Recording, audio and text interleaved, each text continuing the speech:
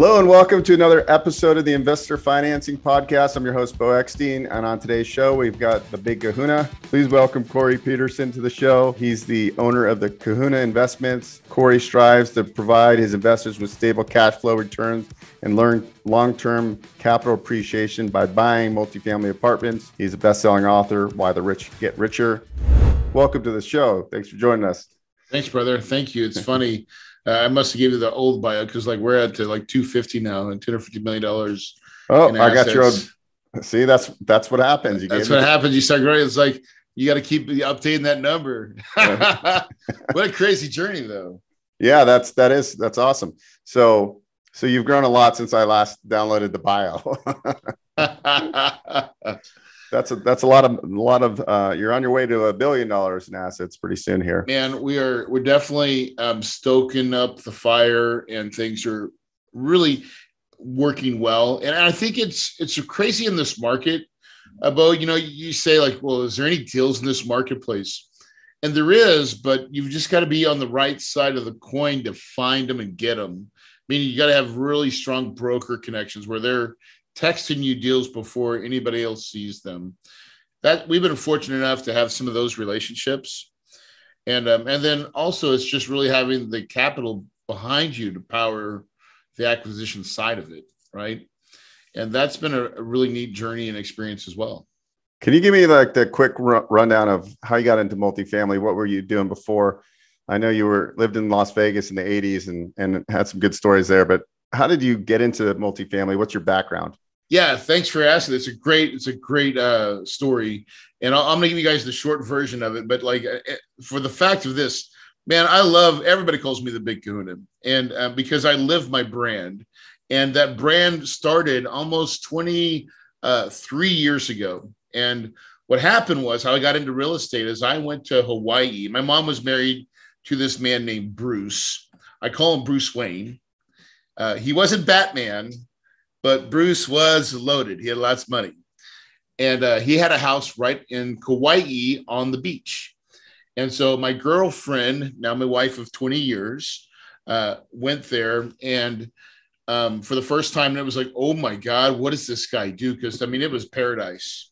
And Bruce had fine art and nice cars, and his phone wasn't ringing. Like he, it was different. I, you know, I've seen money, but I've seen never seen that type of money and so I had to ask him, like, what do you do? Because Bruce unequivocally had time and money. And then he said the magic words. He said he was in real estate and that he owned apartments. I left the island thinking he was the big kahuna. And so now I wish it got better. Bruce was a grumpy old man, and my mom was really pretty. Don't judge my mom. She did get me to Hawaii. Um, but Bruce was never going to teach me. So then I read that little purple book about six months later, Rich Dad Poor Dad. And I was like, oh my God, that's what Bruce did. And so I, in my mind, I had a real life mentor that that actually had done it and I'd seen it and I, I felt it. Um, and then I just went on my journey. I bought every book I could on real estate. I started off as a wholesaler.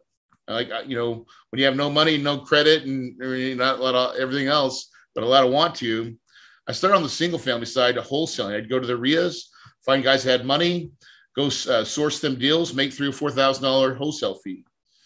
Um, and that was working. And then um, something dramatically changed, and that's when I raised my first piece of private money.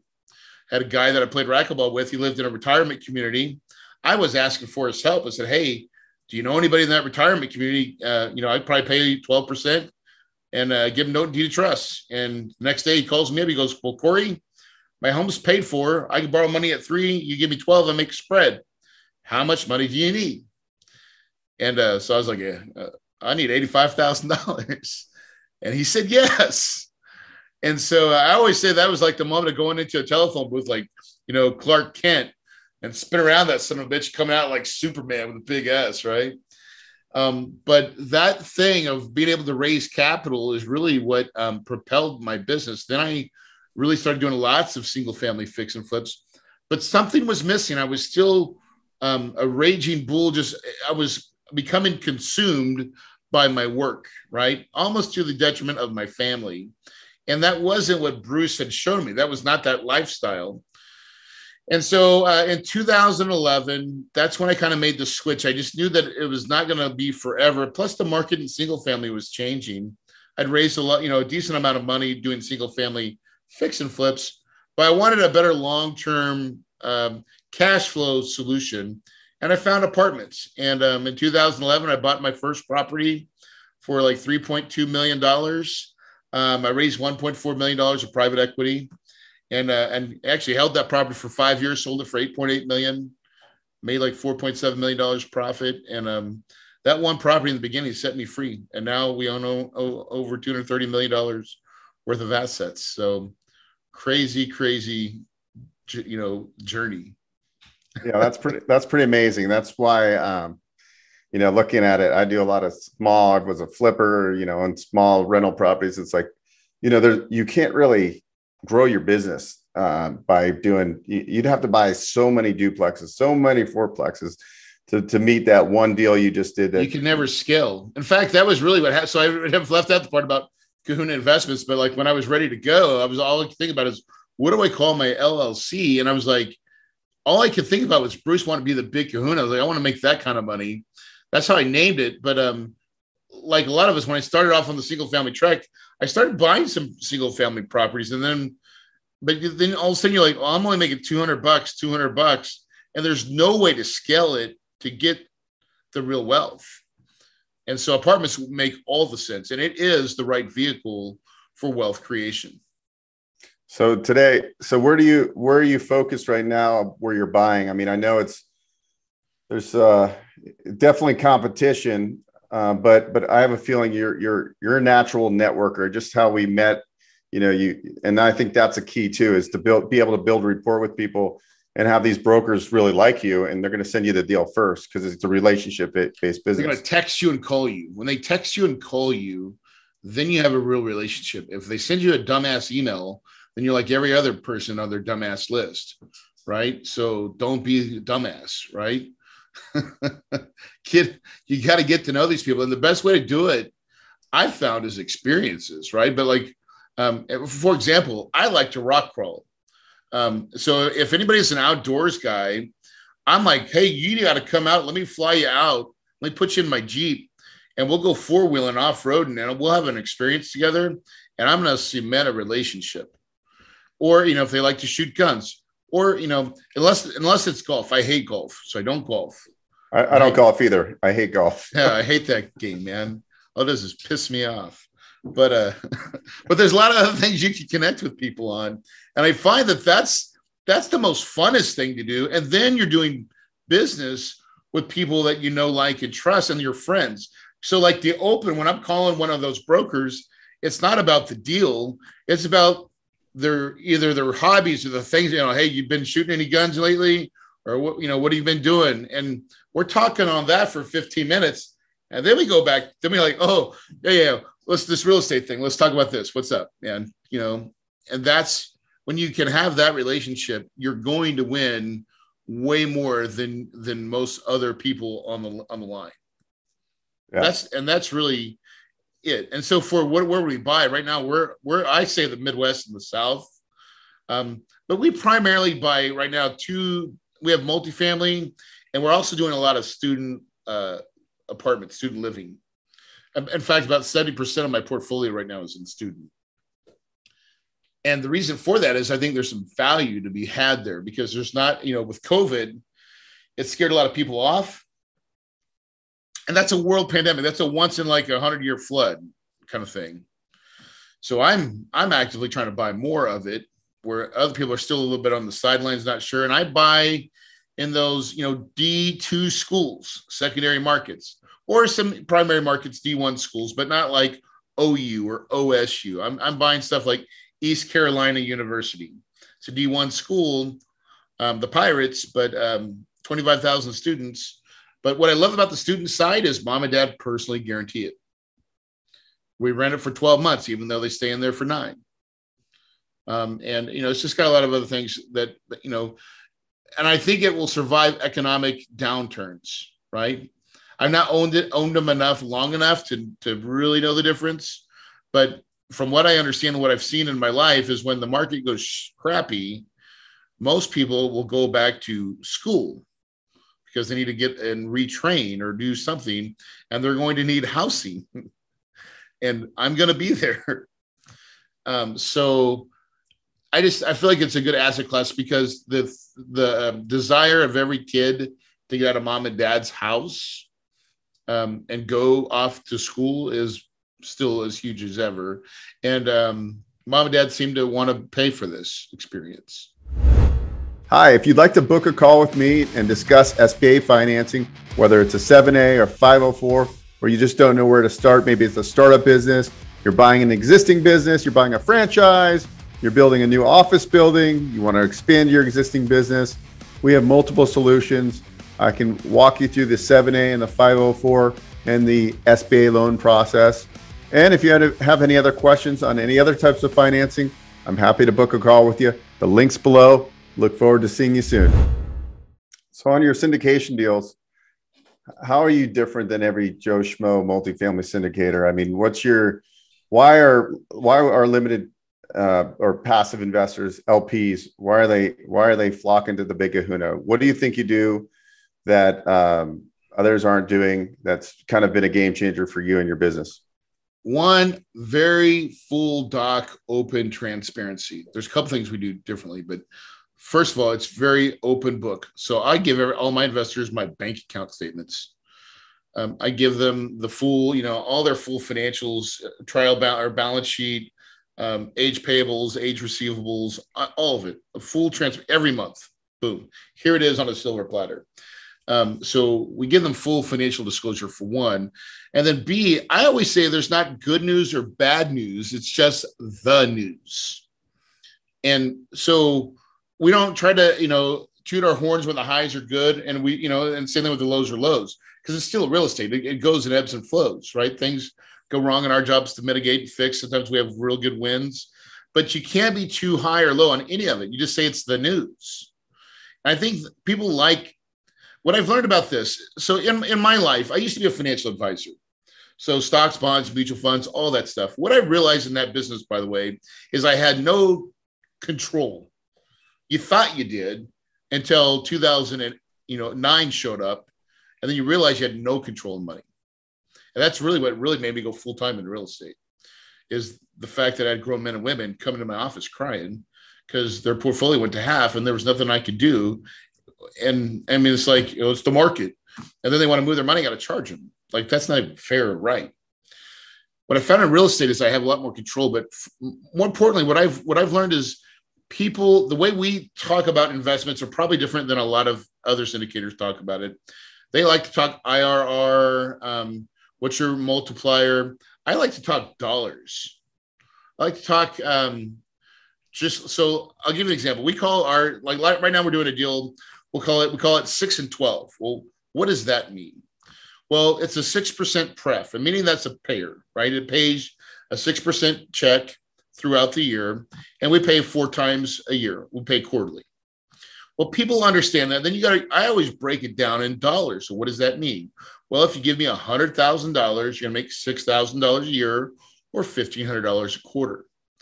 And and so then, as I'm talking to that person that's in the stock market, because that's who our primary investor is. If somebody comes from that world and they're like, I want an alternative to that. They don't know people like me yet, and they're they but they want to because they want to get off the roller coaster. And so, if I was to say 18% return to them, that probably turns them off. I think because they think because their financial advisors been telling them six to eight is the place to be. And if you go to it's from six to eight to all of a sudden 18 or 20, they're like, no, no, no, that's risky. That's too risky. That's you're speeding. So I've learned not to say those words. I say it's a six percent pref, a six percent payer, and they're like, okay. And I said, you know, because you know, what is it? What does Wall Street want you to take as far as a payment uh, when you've got you all, you know, say you saved, you know, all your life, you got two million dollars, and there's Wall Street will tell you like live off of three percent of that. Well, three percent of two million, sixty thousand dollars you may or may not be able to retire for the next 25 years on 60 grand a year. But for us, you know, it's a 6% pref. That's like double, double, 120. Oh, well, I could probably budget on that. So they like that, that piece of it. I go, if all it did was pay you 6%, that's pretty awesome. Because what is out there in the stock market that does that? And I think they understand that. They're like, okay, that makes so it's a good, it gives me a nice, consistent paycheck. Yep, check the box. Then you get to say, but wait, there's more. more. right. And, and this is my favorite one is, you know, rent renters expect rents to go up each and every year. And guess what? We never disappoint them. We always raise the rents, even if it's a little bit, right? And as we raise the rents, we raise the value of the property. And when we do that, we share in that profit with you again. And so that's where we're going to give you that extra, you know, 12%, or sometimes we do six and six. All the deals all change, but you know, an additional 12% annualized for every year that you've been in the in the project. So now it's 18% return, but it's broken up in a way that they understand it that they don't feel like now it's a risky deal. Right? At least that's that's been my what I've learned as I educate investors uh, through, especially LPs, of the nuances of this. And usually, what we've we've done differently than a lot of other syndicators, instead of doing a traditional waterfall model, like you know, it's 70 30 up until you're, or you know, it's a 50 50 split, or maybe a lot of times they'll do a 70 30 split till they get, um, you know, 14%, then or, or whatever it is, or 16%. And they, they eventually they do a 50 50 split at the end. What happens is that I'm getting paid in a traditional way, I'm getting paid as they're getting paid, right? And so what we've done is we say it's 100% pref on the back end on that sell to our investor until they get a total return of what we said 18 or if it's 20 i don't get paid a dollar so what i've what i've what I think I've done is I've put my investors on the front end of both the cash flow side, the paychecks, right, and the back end side. Now, um, and why is that important? Because I think investors want certainty, and I've I've learned that that's not everybody's chasing for yield, or at least the people that I'm fishing for, and the investors that invest with me, they're looking for more certainty than they are yield, right? And so uh, now the benefit to Corey is if Corey does as an owner operator, if I do go crush something, I will make a lot of money in the end, right? By limiting my investors to only that piece. But I think it's a good trade off, right? Because there's always the backside. And no one ever talks about the, the dark side. But it's true. People like ask me if I've lost money. Yes, on one deal, but like it's still I've lost money. I had to make, you know, come up a couple hundred thousand dollars to make everybody whole um, so they got their principal back, but it's still it's real estate. Like you can't control everything. Not every deal's an absolute home run. Yeah, and uh, there, there's a lot of newer syndicators right now. Like everywhere you turn, everybody's you know they're a syndicator now, and so I think for people that have never lost in anything, like oh I've never lost anything. Well, you haven't probably haven't done enough deals first of all, and you've been you've been in the best real estate market that we've ever seen in our lifetime. This last like seven year run. I mean, it's been like a 13 year bull run, and that's historically not normal, right? So exactly. So the poop is going to hit the fan at some point, and then you know, well, we're going through something crazy right now, and interest rates are moving. Uh, there's still shortage of housing. It's still there's still high demand for rent rentals though. So uh, I don't it's know. It's a really weird market right now, right? Like it really is weird. So and I'll tell you how we're trying to mitigate it, right? Because we're like, everybody's a little bit on edge because you don't know what's coming. But here's what I know for a, a plain fact if I can cash flow today, I can cash flow tomorrow most of the time, right? So, in other words, I only buy for cash flow. That's why I buy in the Midwest and the South. I, I buy in markets that I am, you know, maybe that first year might be a little tight, but after that, I'm setting up myself to be able to pay my mortgage and, and live another day no matter what. And I think there's a lot of new guys that are not in that mindset. We're doing it for the quick, the quick turn to the quick dollar. And listen, I mean, we've all heard the analogy. Sometimes that tide goes out and you realize that you're naked. You know, and I don't ever want that to happen because I know what it's like to have, you know, those the deal that I lost money on it was a two year process and it was a hard two really two and a half years of having calls with investors and giving them the news and it wasn't great news didn't feel good And so you, when you get that, it makes you way more conservative because, uh, you know, when you raise out, you know, this last year we raised 22 million. I think this year we'll almost raise 50 million dollars of capital. And you've got to be able to, sl- I've got to be able to sleep like a baby. Imagine having $50 million on top of your back if you were not doing it right. That pressure is so immense.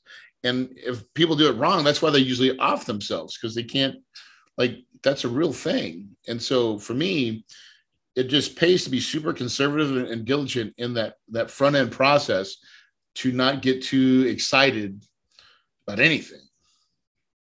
That makes sense. Yeah, that makes sense. I, I, I was around during 2007, eight, and nine. I was a residential mortgage broker owned a lot of single family houses that didn't cash flow. And it was a very, um, I was in my 20s, probably mid, late 20s. And God, it was, I always tell people that was my midlife crisis at that age. It was like, oh, it was so much pain and so much pain. I mean, the, the good thing about real estate is it, it, it will forgive you if you can weather the storm. And so that's the key is like you have to be able to weather the storm and and you know stress test your properties and all the people i interview on the podcast you know from multifamily people to you know fix and flippers it's like it really comes down to like knowing your downside risk and then mitigating as much as you as much as possible. And if you're buying a property that breaks even or cash flows day one you're probably not at high risk versus like doing these huge value adds where you you're expecting to like move rents significantly and it's your you know your your debt coverage stuck. Is, yeah if you get stuck all of a sudden you're way in a bad spot. Yeah. Well and i'll give you an example too Beau. Like so i mean covid. So i've got student housing properties and let me tell you i've got some war stories i've got one property right now that i have to force feed $120000 every month okay that's what i have to pay to make sure that I don't lose the property, right? We went from 100% three years in a row. This is in a smaller school, all of a sudden to 45%, right? And the following year, we did even worse. We went to 43%, right? Now, this year, we're looking to, we're going to probably hit 90%, right? But I had to have enough cash reserves and money, right, to make sure I don't lose the project, right? Now, um, not everybody's set up that way, but I've tried to make sure that as I've made profits and I've made um, good wins, that I didn't go take all my money and put it on red, right? You got to keep some in the house for a rainy day. And that rainy day came. And I'm so thankful that I've had some money in the bank and some other deals coming through the pipe to to um, circumvent um, a catastrophic. I mean, you can never you never budget a COVID in any in any performance, but it's the stuff that can happen. Now, remarkably, this is what I love about student is it's rebounded really well. So this year, almost all our properties will be re- rebounded and recovered um, because COVID's almost finally to the tail end, right? At least I think we most of us can agree, with that. At least, and, and colleges are ready to reopen. Everybody's ready to reopen. So, but I mean, I still think some of the travel, like some of the hotels and stuff, I don't think they're all fully recovered yet. And they may not be for a while. People are still not traveling as much as they, they could or would. Yeah. And I think people, that's good for people to know, like you, as the person that's running the show, the, the, the general partner, you have a lot of pressure on you because you didn't know there was going to be a pandemic. You didn't know that occupancy levels were going to drop by 60%. And um, so it's not for the faint of heart really, right? Like you got to have kind of a thick skin to be in this business because you know you got to be transparent with people, and that sometimes they're difficult conversations. It is, you know, you know, but it's just the reality of it. Like all of a sudden, their interest rates jumped up like a bunch, and and and we couldn't lock in on some of these deals.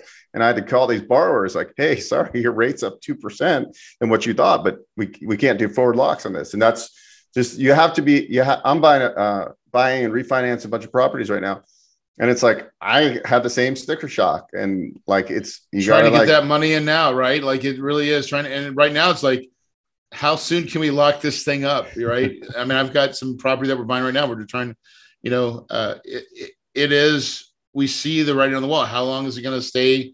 Is it going to keep ratcheting up? Is it going to flatten out? You know, like these are the things we don't really know. But if you look at the whole, you know, and inflation is a real thing. So I mean, it's driving excuse me, rent growth and things like that to to some amounts we've never seen year over year. But that'll dry up too, right? So it's like we've we've had a good run. Um, there right now is the time to be a little bit more conservative, in my opinion. Um, I'm still buying, but I'm definitely buying with that thought of, man, I better make sure I can cover all my bets. Yeah, that's that's really good.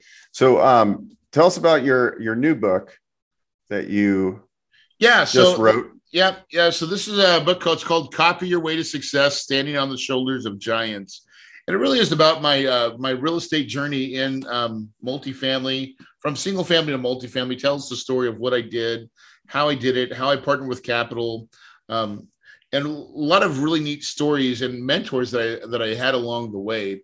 I've always said I've never been the smartest kid in school. I barely made it out of high school. I never went to college. Um, so I would be, you know, as most would say, I'm uneducated, but truly I'm, very educated because I spent a lot of money on real estate courses and seminars and webinars and mentors and mastermind groups and all the other other things that are out there to produce uh, where I feel like I have a PhD in real estate, especially in multifamily side. And so if this, if you know, if you're thinking about real estate, that's a good book, and we'll give it to you for free. Um, if you'll you'll text the word book, B O O K to 480 500 1127. So 480 500 1127. Text the word book, and uh, I'll send you this uh, book for free. Sweet My gift. Yeah. So thanks for having me on. Yeah, that's yeah. I didn't listeners listening.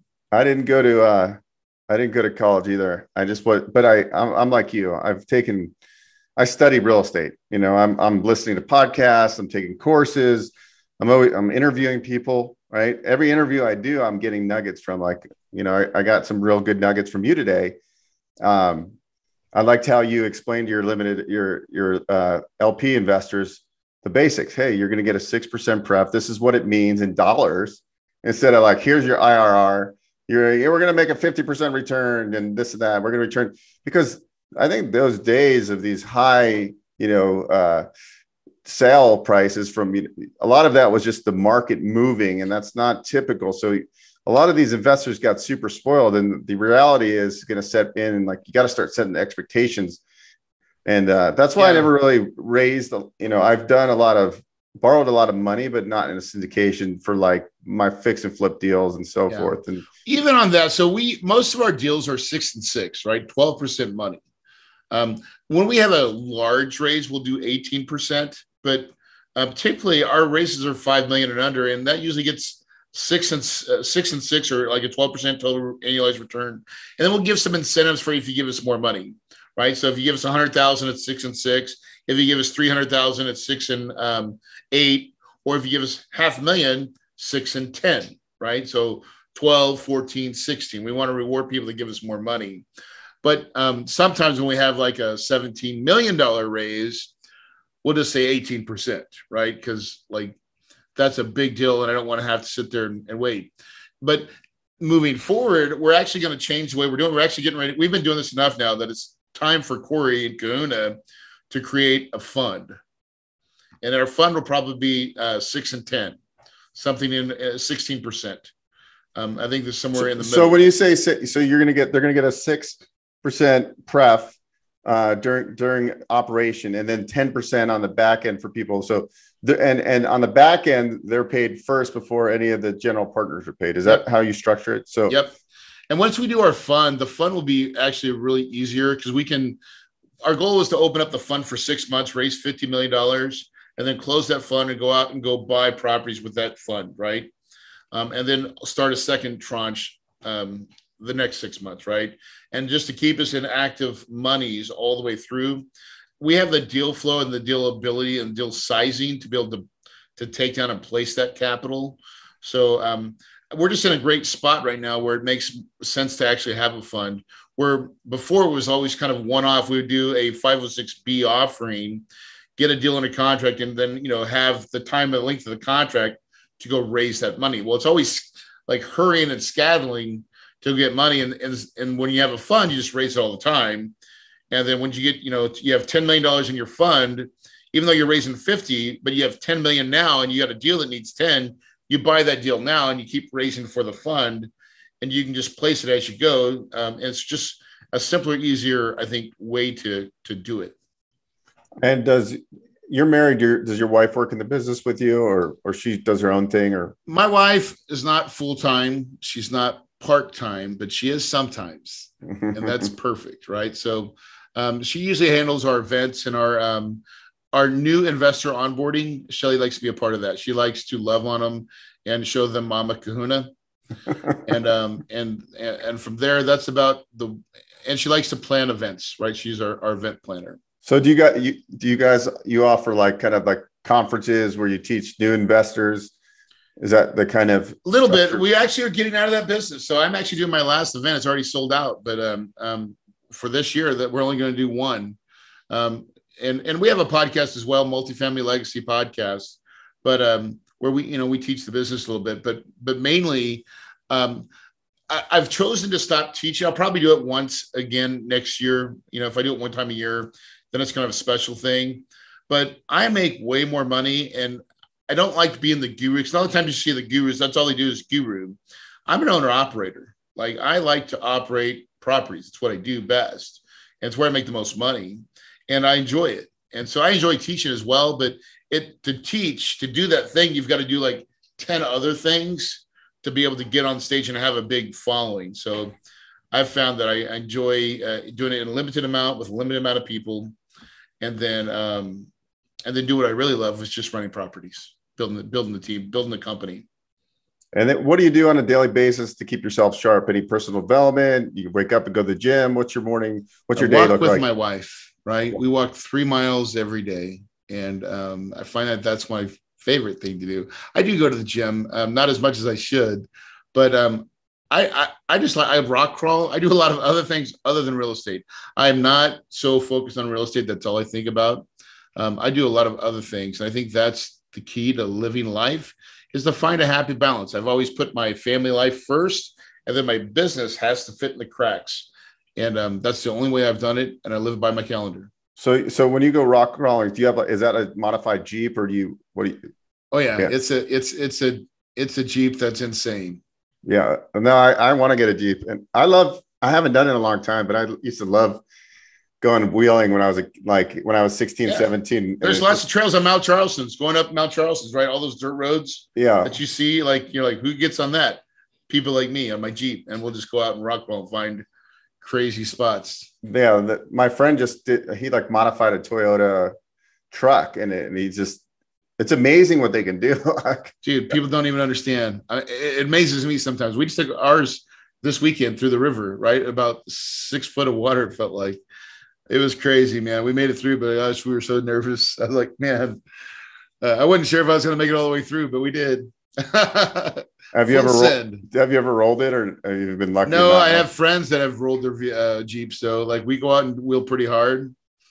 Um, you know, here's the great thing. We always we always say this as you're passing by all the regular stock Jeeps. You say thank you, thank you for keeping our insurance low. So when we go and do our crazy stuff, because it's still just an five hundred dollar deductible, thousand dollar deductible, you get your Jeep fixed. That's awesome. Well, thank you so much for joining us. This is a great episode. I actually got a lot out of it. I know what I'm gonna, how I'm gonna explain my capital raising when I get into that part of the business because that's that makes a lot of sense and you break it down pretty pretty well. So appreciate your time. It was a pleasure meeting you. And uh, any, uh, where can people follow you? I know we got the book, but if they should they go to your website? Where's the best place for them to go? Yeah, KahunaInvestments.com. You go there and uh, click uh, join the deal room. So yeah, all right. Well, thank you so much. And thanks everybody for staying tuned. And please like and subscribe this to this video, or if you're watching it on or listening to it, please uh, like it on wherever you're listening to it, iTunes, Stitcher, God, 20 other places. But anyways, we'll see you on the next episode. Thank you so much.